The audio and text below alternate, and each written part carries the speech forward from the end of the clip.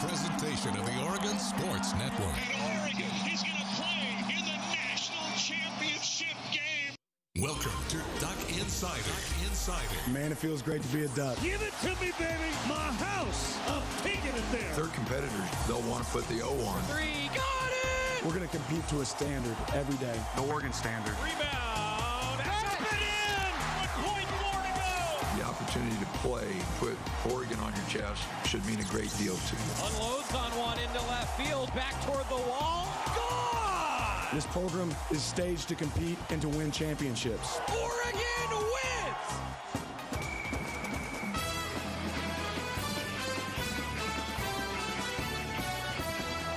This is Duck Insider on the Oregon Sports Network from Learfield, presented by On Point Community Credit Union. Better banking, local solutions. Live from the Country Financial Studio, let's talk Oregon athletics. All right, everyone's got to bear with me for another about two and a half minutes because the U.S. men's national team is currently leading 1 0. If you're live with us in the 1 o'clock hour, uh, this is good. You can just leave it on this camera, Ryan. This is nice. The, the camera that sends us in and out of breaks, the, the studio cam, if you will, is actually mounted on our TV. Um, so if you ever notice that I'm staring right at you when we start a show or we. Oh! Oh, whew. Oh, this is this is very difficult. Um, anyway, if you ever notice that we're that we're like watching you coming out of a break, that's because we're actually watching something on TV. So, uh, one minute left of stoppage time. Okay, well, welcome to Duck Insider. It's presented by On Point Community Credit Union. We're in the Country Financial Studio, and uh, this is like I don't know if anyone else remembers this. We were on the air one time during a volleyball. God, that was almost a goal. We were on the air one time during a volleyball NCAA tournament, and we thought that Duck Insider would end beforehand, but the the match in front of the Ducks went long. I think this was in like 2000, might have been 2017 actually. And so the the game was going on, the match was going on while we were getting ready to start the show. And next thing we knew, it was like we we're just we're literally just listening to I think it was Matt Tyra at the time, and Matt Tyra was like giving us the full play-by-play of, of Oregon volleyball, and then we were on Duck Insider, and it ended up being this like keeping track of two things at once. Um, so bear with us. Da'Mon Merkerson is going to join us coming up here today. Da'Mon Merkerson, the Senior Associate Athletic Director for Diversity, Equity, Inclusion, and Belonging. Uh, both men's and women's basketball, their Pac 12 and SWAC Legacy Series games. Da'Mon did a lot around those two events, and I want to talk to him about that. And, and also, it's been the second time that he's joined us. Has he settled in a little bit? And then yesterday, we didn't get a chance because there was so much football and volleyball to talk about to really go as in depth on basketball as I wanted to. So we're going to do that today. Great conversation with Mike Mennenga that I had post game. You'll love his energy from the Oregon assistant coach. Now, the longest tenured Oregon assistant coach, actually. Mike Mennenga in his ninth season with the Ducks. And we'll also hear from Kelly Graves after the Phil Knight Invitational tournaments where the men were able to salvage a game and it's over. All right. Thanks to Graeme Abel, he gave us the Team USA. This is the send-off series ball, USA versus Mexico in Hartford, Connecticut, July 1st of 2021. Number 7 of 13. I don't know if anyone's ever noticed that this ball has actually been on the desk before. This is from Graeme Abel, who coached, of course, with the U.S. women's national team. And I thought that it was just important that I hold this ball pretty much the entire lead up to the show today. So we did. Um, and now, Team USA, moving on. Yes. And the ball is good luck. So we're just going to keep that on the desk right next to us today. That that gives you good juju. Another ball that's going to give everybody good juju, Matt Ulmer. He's going to join us for an extended segment tomorrow because his Oregon volleyball team is in the NCAA tournament. Friday, 7 o'clock against Loyola Marymount. And I will be affectionately calling Loyola Marymount the Fighting Craig Pintenses. Craig Pintens, former senior associate athletic director for the Ducks, is now the athletic director at Loyola Marymount. I haven't got a chance to talk to him yet, but I hope that Craig's making the trip. Chance to come back to Oregon. Hopefully he's making the trip with the Lions volleyball team. But that's all coming up. Brooke Nunaviller is going to join us in the studio on Thursday, and then we'll also hear some updates from Dana Altman and Kelly Graves' programs later on in the week. And then, of course, Oregon volleyball takes center stage Friday in your Toyota Women's Sports Schedule. Spotlight Toyota, let's go places women's volleyball Friday, 7 o'clock. All right, Oregon basketball over the weekend. Let's start with the men a tough loss for the Ducks against UConn. And I think that loss for me is going to be an important one moving forward because the Ducks were already so banged up. Still no Rigsby, no Couisnard. Coach Altman said after that game that Keeshawn Barthelemy is going to be out at least four to six weeks. A tough loss for the Ducks. When your opposition shoots a program record three pointers, number of three pointers, mm, not going to go well. It didn't go well. But the Ducks, to their credit, responded. And I'll tell you, it was it was really interesting with the Friday game being at 9 o'clock against Michigan State, 9 p.m. Pacific time. I still think I have not found one in the record book. I think it's the latest Pacific time tip off the Ducks have ever had, actually. They tipped off about 9 10 Pacific time. Oregon played Virginia in Louisville in the Sweet 16 a few years ago. That game tipped off because Tennessee went to overtime the game before the Ducks. That game tipped off at about just about 10 o'clock local time, but that was Eastern time zone. So Pacific time zone, I think it was the latest tip off ever. Why that's important? The Ducks had a long time to be at the hotel, go through a shoot around, but they had a long time to think about that drubbing that UConn gave them and Tyrone Williams got banged up in the game, so Oregon was even more shorthanded heading into the Michigan State matchup. Then, in the first half, the Ducks lost N'Faly Dante to concussion protocol. Nate Bittle exited in the game hobbling later on, and I'm just sitting there. I gotta tell you, I'm, I'm sitting at Veterans Memorial Coliseum just going like, man, the Ducks, one, can't catch a break. Two, they had to think about that loss to UConn. And then three, they showed a lot of fight. I, I really think they just ran out of bodies. They ran out of gas but a really gritty, gritty game for the Ducks. So they had a long time to think about it. Whatever they were thinking about clearly worked. Michigan State ended up only winning, a top 25 team in their own right, ended up only winning by four points. So then it was really interesting for me because it was a late game, right? Ducks are beat up, go back to the hotel. They have an off day on Saturday. Wasn't an off day for the broadcaster, though. The broadcaster was driving to Corvallis, so I wasn't around the team at all on Saturday. By the time I got back from football, I wasn't around the basketball team at all on Saturday. So getting up on Sunday for what was an earlier game at noon against a Villanova team that again, I said this yesterday, if you told me that Oregon was going to play Villanova on Sunday, I would have said, well, it's at least for third place in the Phil Knight Invitational. But both of those really good programs took losses, ended up in the seventh place game of the Phil Knight Invitational officially in the tournament bracket. Villanova, a little banged up, just like the Ducks. Michigan State was a little banged up, just like the Ducks. But a gritty win from Oregon on, on Sunday. And I did not know what to expect from the Ducks because a game like that against Michigan State where you, you, you play your butt off and it doesn't go your way, you're already banged up, right? That, that can go one of two ways. It's either going to be, no, you know what? This is a tough team. They're going to fight through it. Or it's going to be, oh, man, nothing's going our way. And, and then not good. You all know what I'm talking about. A gritty win for the Ducks. They led most of the game, and then there was another example of I didn't know how Oregon would react. The Ducks lost the lead late in the game and then ended up closing on a 10 0 run. Now, why is that important?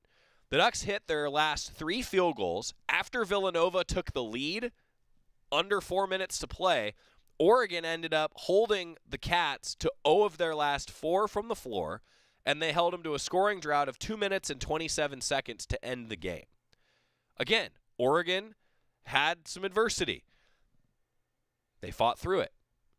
I think we learned a lot about this team, and maybe it's going to come back to the UConn loss, the Michigan State loss, and then a shorthanded win over Villanova. Now, look, Oregon needs bodies. We know that. But a couple things happened against Villanova. One, Will Richardson put together back to back games where he looked like an all conference type player. 19 points against Villanova, a team leading eight assists, was involved on the majority of Oregon's baskets. Then Quincy Guerrier. He had fouled out in Thursday's game and on and in Friday's game. And it seems to me that officials are really watching him for offensive fouls. He's been whistled for a few offensive charges over the last few weeks. Quincy Guerrier stayed in the game. Four fouls, but he scored 21 points on 7 of 13 shooting, and he did it in 33 minutes. That's what you need from Will Richardson and Quincy Guerrier. Those are the two guys I think that are going to make a huge difference for this team moving forward. And they had four players score in double figures, including Rivaldo Soares and Kel'el Ware. He was forced in a lot of ways to step into a bigger role in this tournament because of the availability of Dante and Bittle. And I thought Ware got better as the tournament went on. Is Oregon where the Ducks want to be right now at three and four? No. But you got to think that come end of the season, the committee's probably going to give them the benefit of the doubt because they were so banged up. They still got some gritty wins when they were shorthanded. And now maybe this is a team that has found its gritty identity a little bit. And you know what? The best Coach Altman teams, kind of gritty. They don't always have to win pretty. The best teams win ugly. Because there's going to be games where you don't shoot it well at all, and you got to win. Ducks also did hit some shots in this game. 38% from three, still a little bit on the low end, but 44% overall from the floor. Huge response from Oregon, and I give them a lot of credit because there wasn't a lot of energy in the building. I'll be honest with you. Chiles Center, Sunday afternoon, holiday weekend, there just wasn't a lot of energy in the building. Well, the Ducks responded in a big way. I want to let you listen first to my conversation post game with Mike Mennenga because I think you'll hear just the determination in his voice from the entire coaching staff. And then later on in today's show, we'll hear a little bit from what Coach Altman had to say post game. My chat with Mike Mennenga at the end of the Phil Knight Invitational when Oregon got back on the winning side of things. Coach, how good does it feel in that locker room right now getting a win, huh? Man, Joey, that was an absolutely incredible job. Everybody from Coach Altman all the way down to, you know, James Cooper, Brady Paris, and Gabe Reichel, our walk-ons. I mean, you look at the, you, you think about this in perspective. Our walk-ons, you know, played almost over 30 minutes. Yeah, that's right. So this team's got a lot of guts. They got a lot of heart, and I think the biggest thing that we figured out, man, we got ourselves a leader in Will Richardson, and. Uh, and man, he's been through ups and downs. But if you look at his career at Oregon, you're talking about a guy that's been to three NCAA champ- tournaments, yep. multiple Sweet 16s, one Pac-12 championships. You know, so Will really has stepped up not only as a player but as an emotional leader in our locker room. It's really awesome to see. You know how big was that game on, on Friday, Coach, and then also continuing that gritty momentum here to get a win against Villanova. Feels like a big period maybe in the season for your team. I mean, I think the key word that you use right there is grit you know, and uh, and if you look at all our past championship teams, that's probably the one significant factor of all those guys. They had a lot of heart and they had a lot of grit. You know, coach has the old saying, 10 up, 10 down, 20 up, 20 down, and it could be more true, especially when you go into a you know, historic traditional program, traditionally a blue blood type basketball, but has won national championships in Villanova. We got a lot of respect for them, and obviously we were undermanned going in, and man, you're not going to do it by finesse. Yeah. You're going to do this by a lot of grit hopefully getting a little bit healthier. But I also want to ask you about Quincy Guerrier, coach. I mean, oh, man, the, the six threes, tied for the team lead in rebounds, leads the team in points. He had foul trouble in the first two games of this tournament. Got four today, but he didn't get five, and it felt like it was huge. He didn't get five. I, I think with Quincy, sometimes he, uh, you know, obviously he's looking at our roster. He's thinking that we need him to score, but more importantly, we need him to bring that presence on the glass. We need him to bring that physicality in the paint. When he's thinking that way and playing that way, then guess what? The ball finds good energy.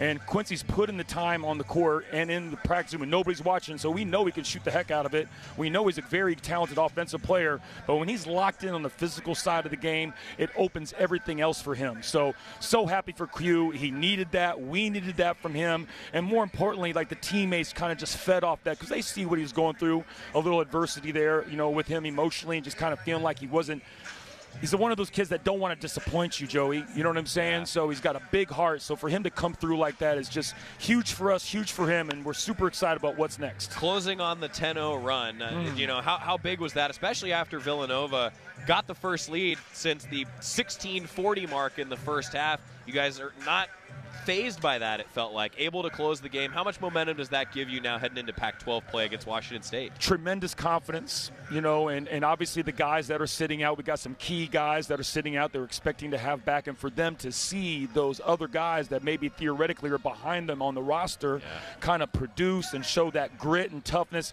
it's, it's nothing short of inspiring, you know. So we're, we're a fired up bunch right now, and it's pretty exciting as a coaching staff you know, I finally feel like as we're moving away from maybe coaching every possession to all of a sudden now the guys are starting to take ownership of the group. They're taking ownership of their own locker room. And I've always joked with the guys in the beginning in early October, November, December, man, you're coaching every possession, but the great teams turn us, turn me into a cheerleader. Yeah. And they're like, oh, we got this, coach. You just sit down there and cheer, go, we got this. and I and down the stretch, when we could have doubted as they made their run, man, they bowed up Yeah. and they banded together, and you could look them in the eyes, and they were like, "Oh man, we're gonna get this one." I saw it in their eyes, man. We're gonna get this one. Yeah. And man, they came through. Was super, super happy and proud of the guys. That's awesome. Coach, thanks for coming up. Thanks, Appreciate it. Joey. Big. Congratulations. Awesome, awesome, good stuff. Go Ducks.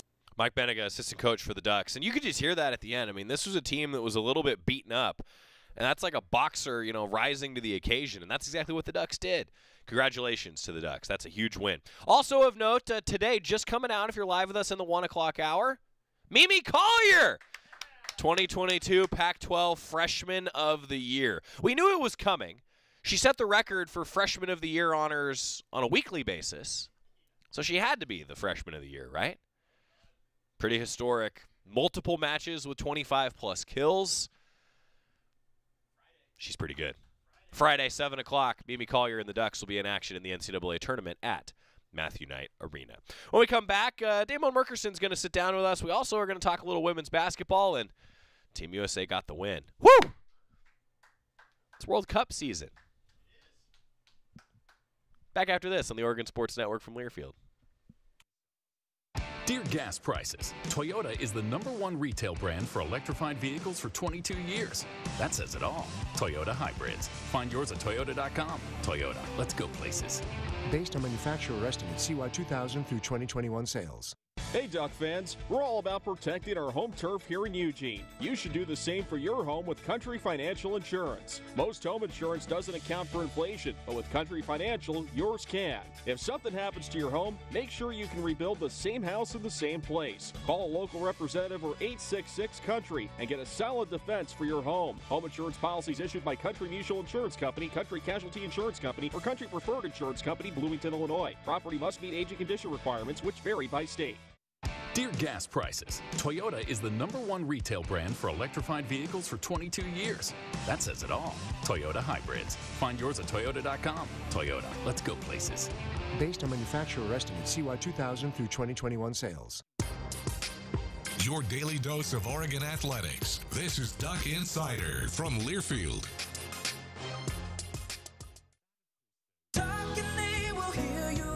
We all want our kids to grow up safe and healthy, so we show them how. With honest conversations that let them know what we expect. That's especially important when it comes to alcohol and other drugs. And when it comes to pain medications, opioids, they need to know that they should never be shared with friends or family. For more information about talking with your kids about underage use of alcohol and other drugs, visit underagedrinking.samhsa.gov. We all make choices about alcohol. Kids make choices whether to drink or not. Bye, Dad. Remember, I'm going to Alex's party tonight and sleeping over.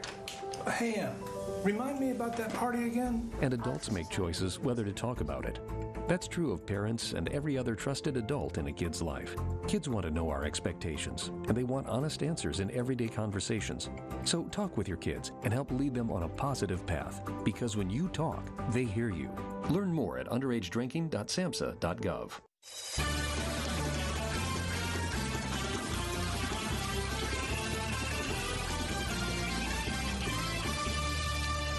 Today is a big day because this is the first time that we've actually had Da'Mon Merkerson live in the studio.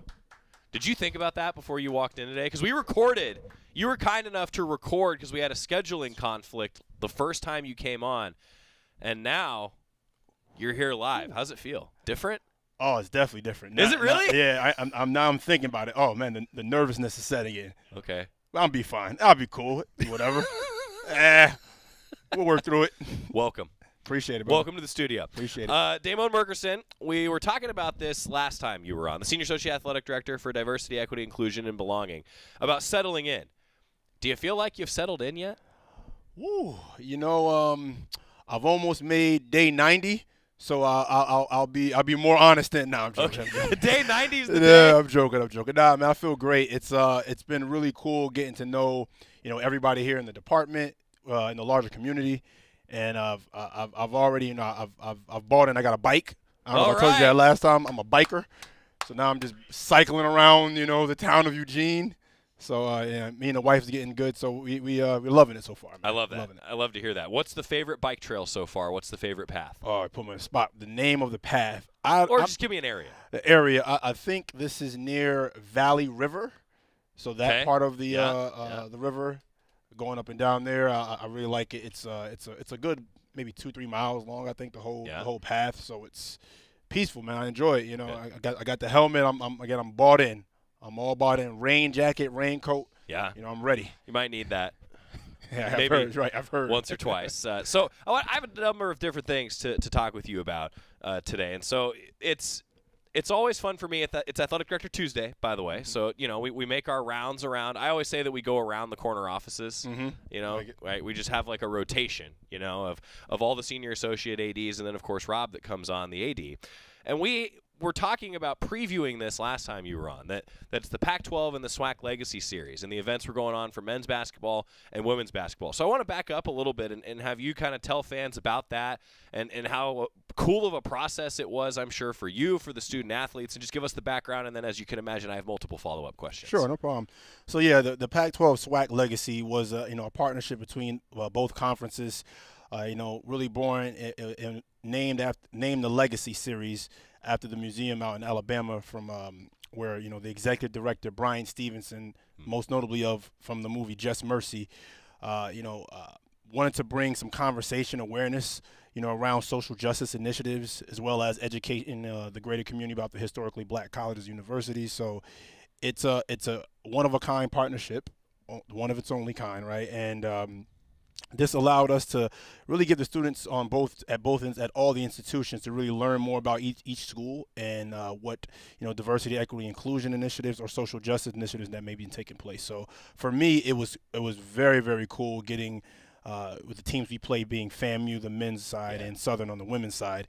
Uh, and particularly with FAMU, because Coach Robert McCullum was a former coach here at University of Oregon, he had a very intimate, you know, understanding of how our institution, our community is, and uh, it was, you know, again transformational. I think both teams and and, and staffs got a lot out of the uh, the, uh, the the journey, the experiment, as well as um, learning more about you know each each campuses. Yeah, I, I was kind of curious for you coming into to this role.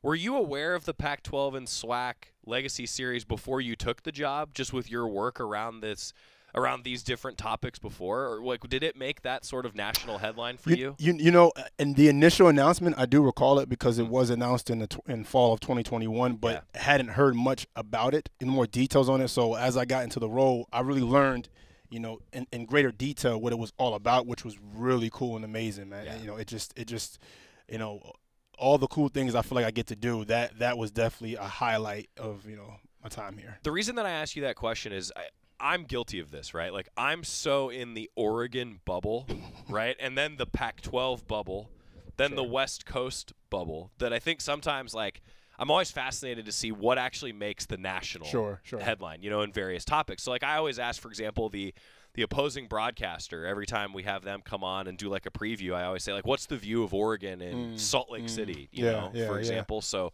i think that's cool that that you at least saw the initial announcement right because that means that it is making an impact Right, beyond right. just our bubble Yes. and that's what you're Yes. supposed that's what you're you're all about Yeah, that's what you hope for, right? I mean, you want you want the conversation to be on like to be on a national stage, Right. and uh, make sure we get as many ears and people knowing about it. Yeah.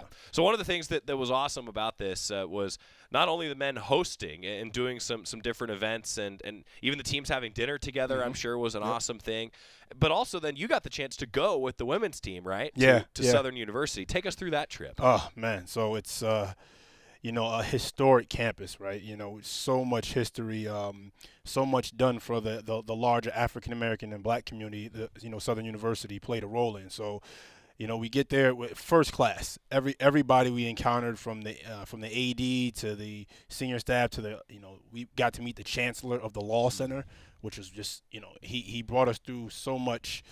Um, um, history that that law center provided the um, students and the people of Louisiana, especially in the black community. When you talk about uh, the number of black judges, right, Mm-hmm. the number of black uh, prosecutors, and and people just all throughout the law and legal field. It was um, and, and and all the sites we got to see. We got a great uh, tour of the campus.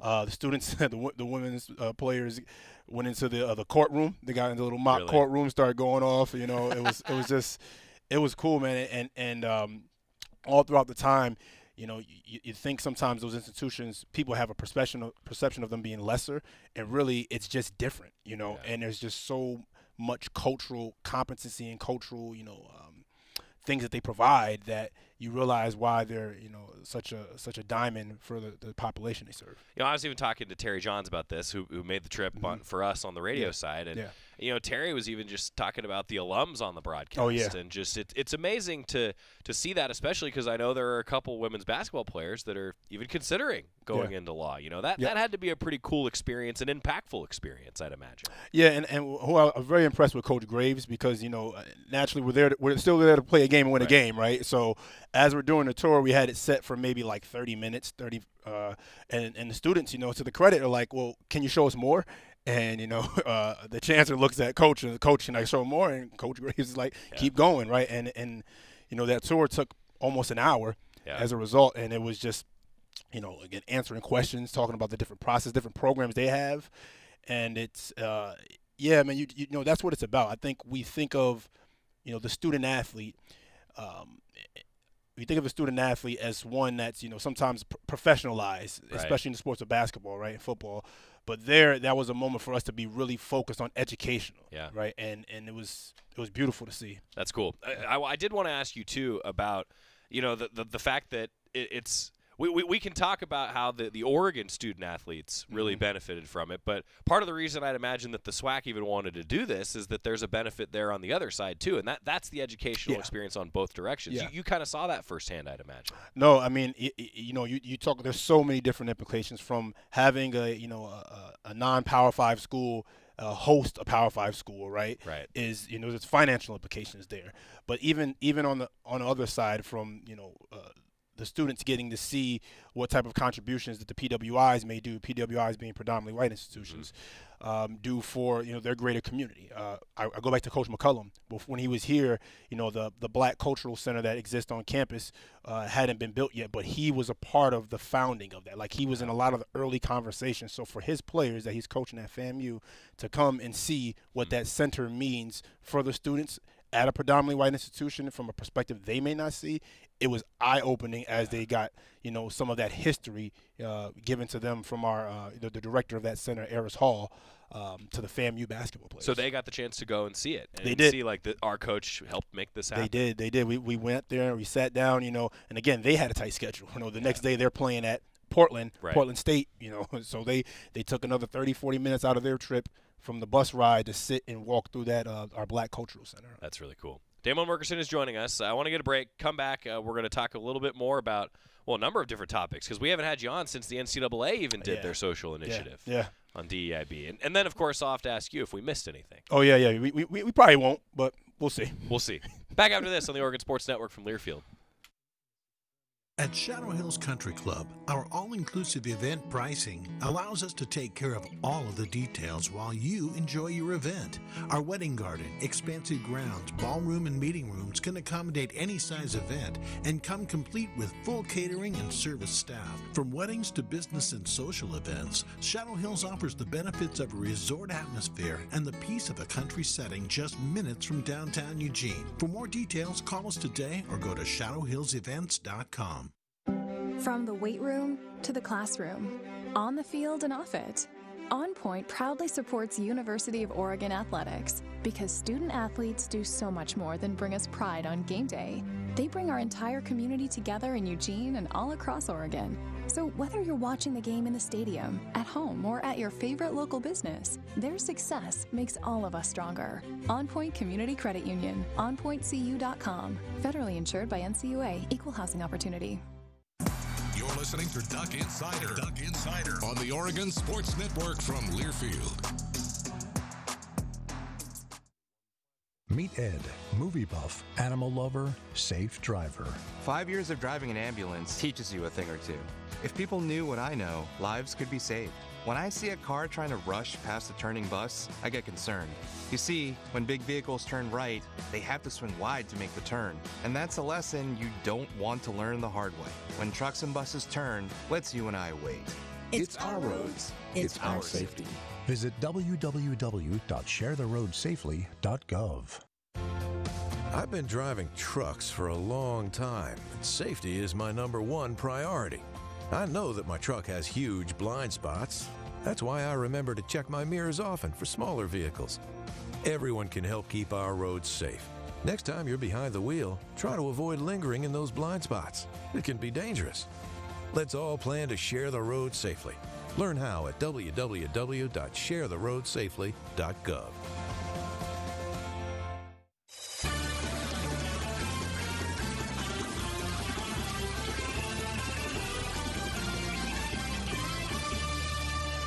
We actually just continued the conversation a little bit during the break. Back in the Country Financial Studio, Duck Insider presented by On Point Community Credit Union. Our senior associate athletic director, can I, you know, the, the, the, the business card, like I said to you last time, is long. You know, do you? I mean, do, when you introduce yourself at this point, Da'Mon, are you just like DEIB? Right, right, right. Like, or are you are you st- are you going out and like nobody says CEO anymore? Chief Executive Officer, right? It's just Right. CEO. Right, right, You right, feel right, like right. the, the the abbreviation is is down the acronym is is good enough? Yeah, you know, I, I, sometimes to, to the uninitiated, I Right. give them I give them chief diversity officer. Okay, So to gotcha. those that are Yep. that are that are hip to the game, I'll say DEIB.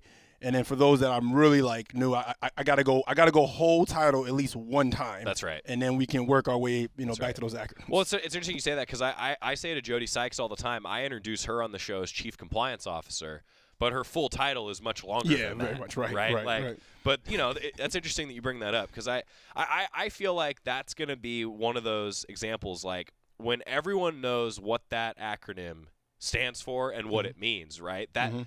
That's a better world that I think we're living in. At least that, that's why I bring up that example. I'd be curious. I mean, you agree, I would imagine. Yeah, no, I know, I, I, and I appreciate your intentionality. I mean, words matter, language matter.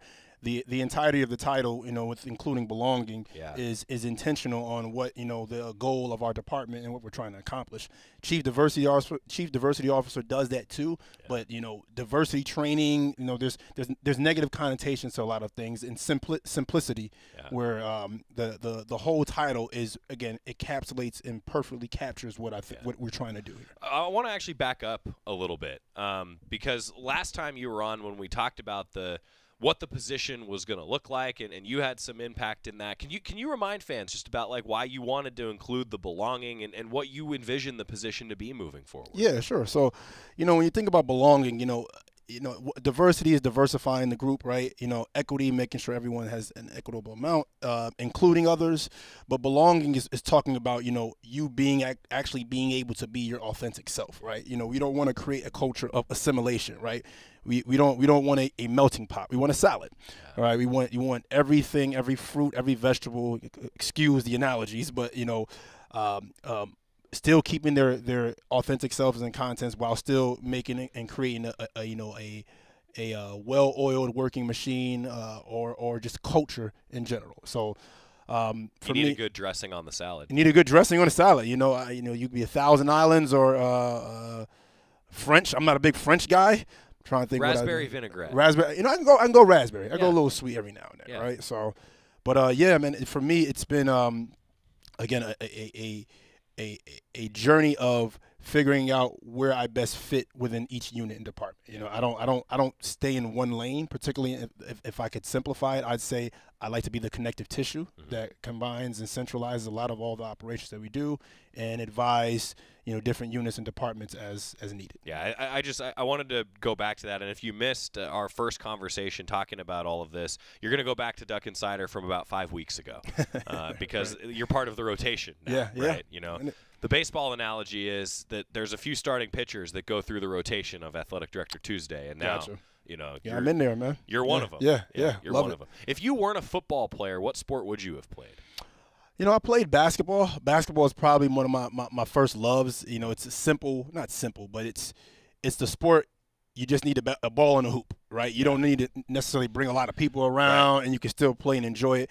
And then which goes into my other love, which is track and field. I love racing. You know, it, it was it's probably the the you know you're better than me. Let's race right now. You can do it at any point, and it's uh it's it's uh, it's fair, if you yeah. will, right? You know. Yeah. yeah. I get that. I get that. Uh, Da'Mon Merkerson joining us. All right, I want to go back to, to the Pac-12 and SWAC Legacy Series for just a moment because it's it's not just this season. Yeah. Now the women will be hosting one of those schools coming up next year, and then the men are going to make the trip mm-hmm. out to mm-hmm. Florida A&M coming up next year. So the the longevity of an agreement like this, and, and I, I, I kind of wanted to ask you, like, how beneficial is that? That this isn't just one yeah. time this season. You know, there's something to look forward to next year, and, and who knows, maybe it continues even beyond that. I would love that. Yeah, I, I think the you know having that continuity, having that that annualness of the program allows for us as an institution to do some cool things throughout the year, right? Yeah. You know, it's not it's not it's not just we're playing them and we will see them next year. You know, what we're hoping to do is have some educational opportunities throughout the year to connect with FAMU, uh, Florida A&M, and Southern University. Mm-hmm. Uh, and, and, and how we can involve the greater campus communities. You know, how can we get our, you know, our, our students that are interested in HBCUs or in college athletics to be involved in this? You know, uh, we're, we're, we're already having conversations and meeting with other campus partners to figure out how do we increase that because the, the all these things both, you know, uh, attribute to both all of our institutions' overall missions, yeah. right, in higher ed. So it's uh, no, it's amazing, man. And, and again, it, it, gives us a chance to, you know, talk talk about sport and make it bigger than sport, yeah. right? Your counterparts across the, the country, I suppose, even beyond the Pac 12, do you envision more of, of these sorts of agreements and these sorts of partnerships now? Because I think this one has been met with such, at least on, on the Oregon side, I know sure. it's been met with great, great love do you feel like it's going to happen more and more? Oh, absolutely. I mean, I think what you see across the you know across the country is uh, more roles like mine being yeah. implemented and instituted at their institutions, or at least the responsibility being given to somebody on their senior staffs. And uh, you know, our Pac-12 DEI group, we meet bi-weekly, you know, if not monthly, to have these kind of conversations, talk about how we can be most impact- impactful and how we can collaborate with each other, right, to to move forward. You know, because this is again, we are competing against each other on the field, but we all understand from an educational standpoint, this is much bigger than just a sport and just athletics. You know, I, am glad that you said that because there, it's so true that you're you're competing on the field and there's rivalries and fans feel that, but then you know, a lot of times I think it gets it gets overlooked that in the industry that you and I are in, mm-hmm. people go to different schools, right? Like, yeah. it's really kind of rare that you end up working at your alma mater, right? Correct. Know? So yeah. you kind of bounce around, and it's nice to have that connective tissue, to borrow a phrase from you. Yeah, no, I mean, it, it's again, you you you go back to the to the the reason we got into this work. Yeah. You know, obviously we got we have our, our, our our, our loyalties, you know, and right. we have a fan base. But at the end of the day, we're about developing students, educating students, and yeah.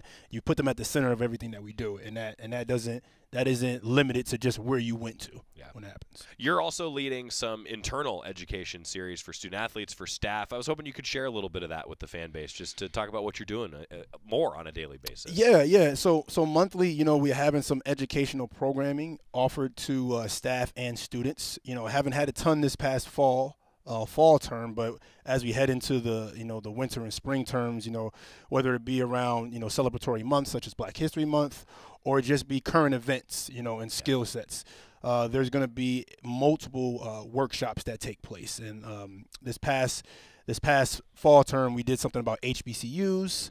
Uh, for the students, we talked a little bit about you know implicit bias, uh, and um, and and again we're going to continue doing those things. One thing about me is i don't i want it to be very tailor specific to the needs of the teams and the needs of the students and the staff. So while we're, ha- we're going to have a curriculum uh, it's also going to be very uh, again individualized so that we're really meeting the needs of uh, what people feel like you know whether what their team needs or their staff needs. So that's from a coaching standpoint and a student standpoint i think that's great. I mean i you know it, it's interesting like as a as a teacher right? Like mm-hmm. I, you try to adapt to to, to the needs of each class, you know, and a coach, the best coaches I would say adapt to the players that they sure. have, you know, I, that just makes a lot of sense, doesn't it? Yeah, yeah. You feel like you draw from from your competitive days, being being coached, being taught. You feel like you draw on that a lot. I would say so. Yeah, you know, I, I think you know, I think a lot about my um, really my youth too. You know, co- college is one thing, but I, I I felt I was blessed to feel prepared to like what I was going to encounter for the most part. But I really think about those little league days. You know, the youth sport days are really are some of the, the ones I think back on on how you know particular experiences got me thinking the way I thought or how I understand understood competition the way I do and why it's important to for you know DEI work, DEIB work, or things of that nature to be is because it's it, it really needs to be normalized, right? I think we look at it as another thing that's add on, but really, no, this has always been there. We just haven't been doing a good job at it. So, which is why we have some of the issues we currently do. Right. Part of that uh, also with with awareness and normalizing it, the NCAA just went through their social initiatives. On Yeah, yeah. DEIB. Tell us a little bit about that. Yeah, I know you worked on that. Yeah, the social media. So you know, they, they it's it's it's think it's ah, I forget with a year, but they've been doing it for the last couple of years. An annual kind of social media blast of uh, themes, you know, throughout the week, in which it gives you know uh, college, universities, and campuses a chance to um, uh, allow their student athletes to highlight whether it be a cause, uh, whether it be just focusing on that theme, uh, you know, raising money for certain initiatives. I think it's just a good way of advocacy and engagement. And uh, the participation from our student athletes was uh, mainly through social. And uh, you know it flows well with our, our, already established you know Be Oregon initiative. So it's it's it, works perfect for us, and it just allows us to you know spend another t- another week focusing on conversations that we do throughout the year an- annually. What else is on the horizon for you? What are you working on? What's on your desk these days? So my desk. Well, I, I- I'd be, be remiss not to mention, you know, it is Native American History uh, Heritage Month, and uh, we've had some programming on campus that's been amazing. Some great speakers. Uh, our student athletes, um, our SAC committee, actually did some education. Uh, we had a social media blast um, uh, around Native American Heritage Month. Um, uh, um, from our track and field team, a distance runner who is a Native American, identifies, uh, has a documentary getting ready to come out about his Oh, own wow. history and his own journey. He showed he shared that trailer with the student athletes and talked about, you know, what it means to be a good ally to a Native American and Indigenous person, and a lot of it just had to do with respect and um, you know and, and education. So I think that was that was um, a great event, great turnout, and you know just preparing for the preparing for the winter term. You know I, I got to get used to the winter term. That's still new for me. I'm Oh, still trying to get used to that. But um, yeah, getting ready to roll out this curriculum. Um, and, uh, and do some more celebratory things during the you know the months that uh, uh, are um, acknowledging different groups. So So you you came from semesters. yeah, I'm a, I'm, I'm a semester guy. Semester semesters. It's all I've known. You'll learn to love the quarters. Uh, you know, I, that's what I'm hearing. That's what I'm hearing. Yeah, I'm hearing. I'm hearing Good. that. I'm glad you're hearing that. I, I, you know, I used to think that I was in that I was in the minority, not or, or feeling like I like I love the quarter system when I was in school, um, and I love it now. Honestly, as a as, as someone who works in, in, in athletics and works at a university, I don't know. I It's fast, I man. like it. It's. I I, mean, like it's the fast pace. It's quick. Like I guess you don't have time to fall behind. Right. So it's like you know, boom, boom, boom, boom. I think from a from a professional standpoint, it makes me have to be a little bit more efficient Yeah. on programs Me right too. now. Because like now, you know, we start. You know, the students are all gone, and there's things I was initially thinking about doing in December, and then someone had to remind me, "Oh, the semester's over this week." I said, "No, okay, Yeah. I'll push right. it back." right. Yeah. January 9th, uh, classes are back. It's dead week, actually, at the University of Oregon right now. And then finals week is next week. So, you know, and if you're one of those teachers, uh, just on behalf of all former students and current students, if you schedule a final at 4 o'clock on Friday during finals week, boo. Nasty, it, nasty work. make it an essay. Turn in the essay. Don't don't don't do an in-person final at four o'clock on a Friday. Do you agree? That's hilarious. Yeah, no, no. I mean, that's, that's miserable. I had one of those. I had one of those. Yeah. Did you go to it? I did. Okay, respect you. That- that's the most important question. Did you And, go to it? You know, and it was even worse because it was before spring break. Mm. So that really just cut into that week break. You know, because sometimes you can get like ten days. Yeah, yeah, yeah. No, I hear you. know? I hear So, you. Anyway, this is why I like quarter schools. Yeah, I see, man. Yeah, yeah. I've I've uh, I've been a I, fan. I, I'm, I'm, I'm hearing it's. I'm hearing people like it. So It's good. Good. Da'Mon Merkerson, our guest. Okay, last thing for you. Uh, you came into the studio a couple weeks ago. Tremendous content idea, and I Oh, want to yeah, yeah. I want to pull this off. Tell fans about it. Yeah, yeah, yeah. Sure, sure. So, um, you know, I, I think I think we want to figure out. We like telling stories about our student athletes, right? Yes. And our student athletes have such great stories and such, you know, uh, a, a great culture that they talk about. And sometimes we, we're not even aware about how different some students are or things we may have alike. Yeah. So, you know, it, this, this came about with talking with a student. I want to name them, but they were talking about fishing to me. And this person is not from anywhere where there are a lot of lakes. So I'm just trying to understand how did this young person get into fishing? yeah. And, you know, it, it took me back. And I just thought about, you know, ducks, you know, ducks out of the water. You know, I want to highlight you know two student athletes who have you know some uniquenesses about whether it be an interest or about their culture in which um, the other student or the staff or maybe in department didn't Yeah. even know about right? And you know as fans you know sometimes we, we we get really locked in on them as athletes and it's just you know they perform but you know these pe- they're people. They're people with such you know unique stories and unique interests and uh, hopefully we're gonna get that up and going in the in the winter or spring uh, term in which we'll, you know, I'll have a conversation and go out with them to do, you know, whatever it is, whether it be shift, uh, uh, uh, fishing or surfing. You know, I hope someone likes surfing because I want to try it. Yeah. I want to try surfing. I'm nervous though because I'm, I'm, you know, I can't, I can swim, but I don't know if I can swim that well. Well, in Yeah, a perfect in a perfect world though, you're not swimming when you're surfing. That's true, but I, but I know I will be. Yeah. That- that- which is why you That's- know. I mean, yeah. that's good of you to be uh, Yeah. planning ahead, but I'm decent. You know, I can. You know, let me hold. Let me backtrack. You're I can athlete. swim. I can't float. That's what's weird. Okay. I can't float. Okay. And I feel like I'll get fatigued in the ocean. Right, And yeah. knowing how to float may be important. yeah. Well, stay stay upright on the board. You know, that's I we're, I think we can make this happen. I think we can make this happen. So, student athlete who's out there, let us know who can surf. I think it's a great idea though. Yeah. Because you know, isn't it funny that like the icebreaker of oh, tell us something about yourself that no one knows. Right. Right. Like that's Right, really right, what right. it is. Exactly, right, you right. know? But And- show us. Yeah, and I think us. I think that's awesome. I love that. Well, anything else that fans should know? Uh, anything else on the horizon that you want to mention that we didn't get to today? No, you know, uh, again, just uh, you know, uh, to the fans, and, and enjoy and, and cheer on us, cheer us on as we get ready for some more uh, upcoming games. You know, women's volleyball is big out here. You know, you know that's a big one. So, uh, and uh, yeah, no, go Ducks, go Ducks. I like it. Da'Mon Merkerson. Thank you. Yeah, appreciate it. Appreciate it, sir. Uh, the Chief Diversity Officer, the Senior Associate Athletic Director of Diversity, Equity, Inclusion, Belonging, DEIB. Did I get it all? You got it. Woo! You got it. I'm one for one today. Let's get it. We're going to go two for two when we come back. Kelly Graves, Oregon women's basketball head coach, some of his thoughts coming out of the tournament in Portland and then heading into more non conference matchups for the Ducks. Back after this on the Oregon Sports Network from Learfield. Hey, Duck fans! Jackson's is a proud sponsor of Oregon football. And this holiday season, we have the perfect stocking stuffer for the Duck fan in your family Oregon football trading cards. The cards will feature your favorite Duck football student athletes, so collect them all to complete your set. Be on the lookout for these cards coming soon exclusively to your local Oregon Jackson's food stores. Visit jacksons.com for store locations. Jackson's. Let's go. From the weight room to the classroom, on the field and off it, On Point proudly supports University of Oregon athletics because student athletes do so much more than bring us pride on game day. They bring our entire community together in Eugene and all across Oregon. So whether you're watching the game in the stadium, at home, or at your favorite local business, their success makes all of us stronger. On Point Community Credit Union, onpointcu.com. Federally insured by NCUA, Equal Housing Opportunity. This is Duck Insider, presented by On Point Community Credit Union on the Oregon Sports Network from Learfield.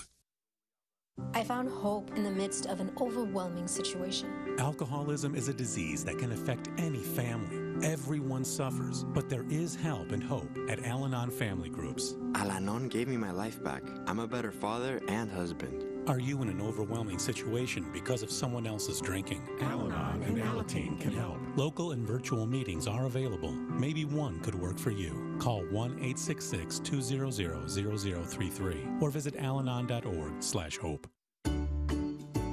Medicaid and CHIP offer free or low cost health coverage for children and teens. Hospital and doctor visits, prescriptions, shots, and more are covered. That's peace of mind for parents if a child is sick or gets injured. And parents may now be eligible for Medicaid too, even if they've applied in the past. Enrollment is always open. Visit insurekidsnow.gov or call 1 877 Kids Now. Paid for by the U.S. Department of Health and Human Services.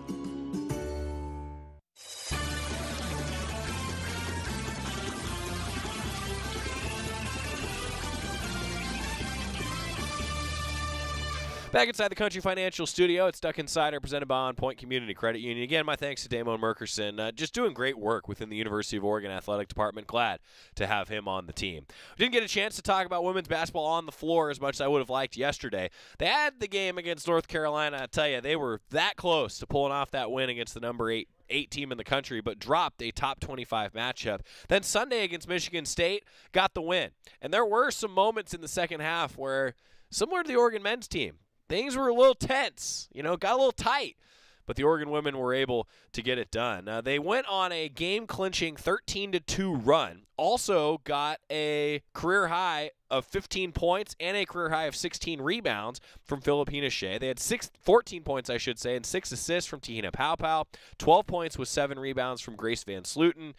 Oregon continues to get better and better with some of these young players. And I think that's maybe what's so exciting about the Oregon women's team is that they're young, they're motivated, and they don't really have a lot to lose right now. Ducks are 5 and 1 and they're heading back home this week. Kelly Graves is going to meet with the media this week before on Saturday they take on Portland at 2 o'clock. I said we were going to hear from Kelly Graves, and we're going to do that, but Da'Mon was so great to talk to. I got to sneak in one more time out, and we'll come back and hear from Kelly Graves. Some of his thoughts coming out of that Phil Knight Invitational Talking Hoops on the Oregon Sports Network from Learfield.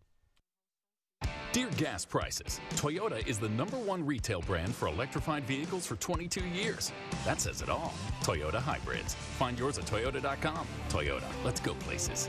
Based on manufacturer estimates, CY 2000 through 2021 sales. From the weight room to the classroom, on the field and off it. On Point proudly supports University of Oregon athletics because student athletes do so much more than bring us pride on game day. They bring our entire community together in Eugene and all across Oregon. So, whether you're watching the game in the stadium, at home, or at your favorite local business, their success makes all of us stronger. On Point Community Credit Union, onpointcu.com. Federally insured by NCUA, Equal Housing Opportunity. Dear gas prices, Toyota is the number one retail brand for electrified vehicles for 22 years. That says it all. Toyota hybrids. Find yours at toyota.com. Toyota, let's go places. Based on manufacturer estimates, CY 2000 through 2021 sales. More Duck Insider coming up on the Oregon Sports Network from Learfield. The United States Deputy Sheriff's Association is a national nonprofit and the largest non governmental provider of services to law enforcement. The USDSA assists city, county, state, and federal agencies with free safety equipment donations and officer survival training, along with cash donations to families of law enforcement officers who perish in the line of duty, college scholarships for the children of law enforcement, a citizen awareness program, and more. For more information on the USDSA and how you can help, visit usdeputy.org. You're never completely ready to adopt a teen. For late nights writing English papers. For your teen's music taste. For dinners where they talk more on their phone than with you. For the first time, they call you mom. You're never completely ready to adopt a teen, and you can't imagine the reward. To learn more about adopting a teen, visit adoptuskids.org. Brought to you by the U.S. Department of Health and Human Services, Adopt U.S. Kids, and the Ad Council.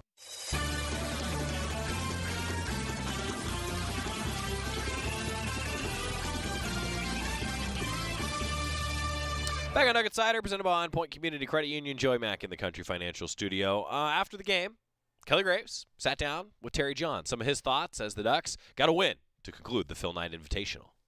Coach, it looked like maybe you're going to run away with it, and then all of a sudden that it wasn't a runaway and it was a ball game, wasn't it? You had to work for it. Well, one of the words that you and I have used when we've talked before games and after games is consistency, and it uh, kind of reared its ugly head a little bit tonight. We got off to a great start, just like we did the other night against North Carolina, and then kind of let it let took the foot off the gas, and they got back into it, but. Uh, and then when they tied that in the fourth quarter, uh, you know, there was a cause for some concern, but uh, I thought from there on we really uh, executed well. Our kids stepped up and made big shots. We had a some really good uh, performances tonight from individuals. Yeah, 11 to 2 run after it Yeah. tied at 68, and the ball movement all of a sudden was there, wasn't it? It was, yep, it was, and uh, uh, but you know we made some shots. Yeah, yeah. you know it's funny how that how that works. You know the other night we.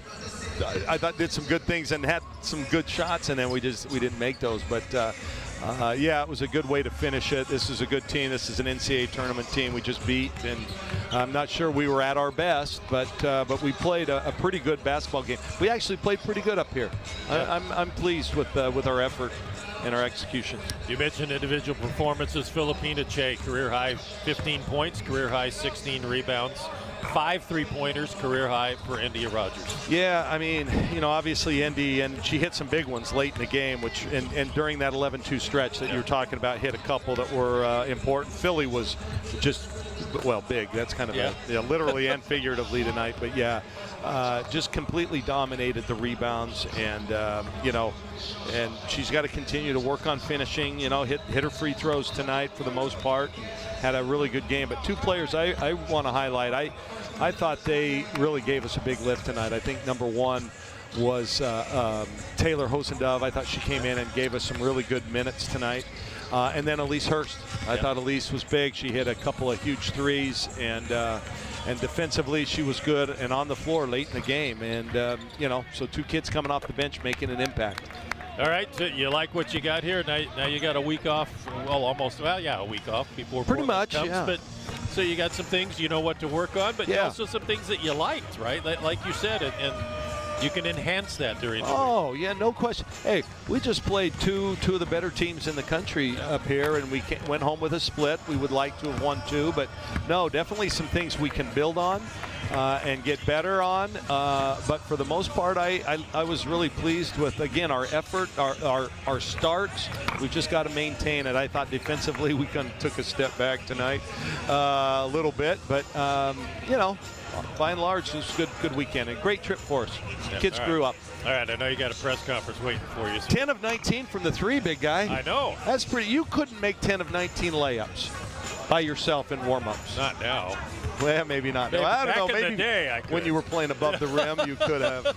But no, it was. Uh, listen, I'm so proud of our kids and. Yeah Great second half. We challenged her at halftime. She only had one rebound, so she had six in the second half. We we went to her a little bit uh, in that stretch. You know, in the first half, they combined 21 of their 37 points came from second chance points and points off turnovers. In the second half, they only had 10 yeah. in those two categories combined. So we, we cleaned up what we wanted to in the second half. So that's a, a mark of a mature team or a maturing team. Yeah. Kelly Graves, Oregon women's basketball head coach. Uh, sometimes he's got things to say. You heard Terry at the end say, Coach, I know you got a press conference. Yeah, but so many threes. I love that. Kelly Graves going to meet with the media this week as well. Tomorrow's show, Rob Moseley joins us and Matt Ulmer join us. Going to be fun. See you then. Victor deployed for the first time to Afghanistan in 2003. He sustained a moderate traumatic brain injury. One of the most important elements of caregiving is taking care of yourself. For many military veteran caregivers, their caregiving journey starts earlier in life and lasts long.